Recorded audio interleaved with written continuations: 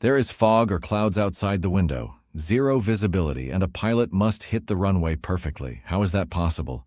ILS, Instrument Landing System, helps him. It is a precision approach system that guides the airplane to the runway.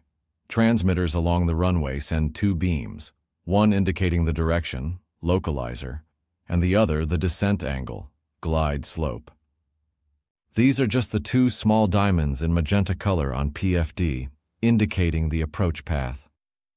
The ideal approach is at the center of the scale. When we are not perfectly aligned, the diamonds move away from the center of the scale. If they cross the first dot, you have to perform a go-around. The pilot, most often assisted by the autopilot, monitors these signals until the runway appears. Thanks to ILS, you can land safely even with near zero visibility. And you, would you trust the machine and this technology in such fog?